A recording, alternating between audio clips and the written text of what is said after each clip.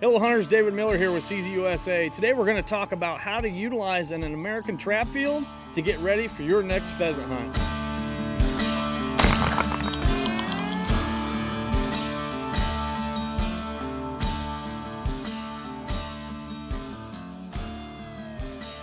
So a trap field is going to give you something that's pretty unique compared to sporting clays courses.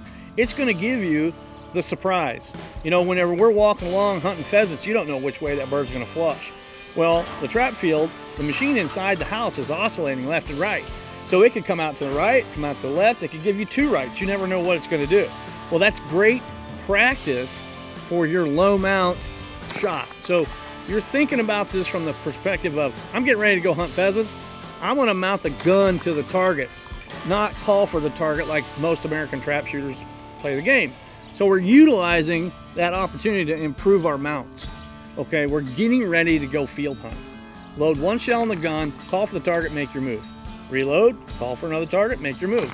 And you can practice all those different variations on an entire round of trap. It'll really help you hone your skills and get that mount just right. So next time that bird comes up, you're on target. So before you know it, hunting season is gonna be here. So get out on that trap range, practice your mount, practice the move, practice making good solid hits on that clay target.